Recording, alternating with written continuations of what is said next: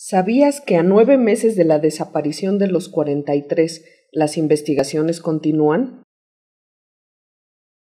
El Grupo Interdisciplinario de Expertas y Expertos Independientes, asignados por la Comisión Interamericana de Derechos Humanos, llegó a México el 1 de marzo y en su primer informe presentado el 19 de marzo solicitaron tratar el caso como desaparición forzada, una copia digital del expediente a la PGR el establecimiento de un dispositivo de atención médica para los familiares, continuar con la búsqueda de los jóvenes desaparecidos y entrevistar a los militares del Batallón 27 con sede en Iguala.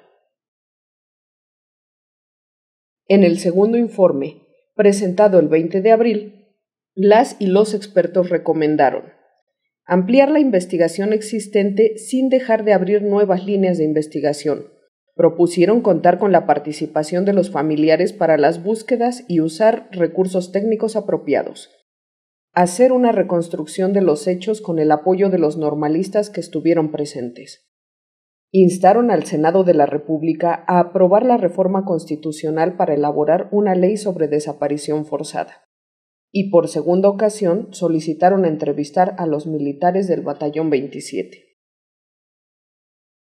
El tercer informe, que se presentó el 11 de mayo, arrojó las siguientes recomendaciones.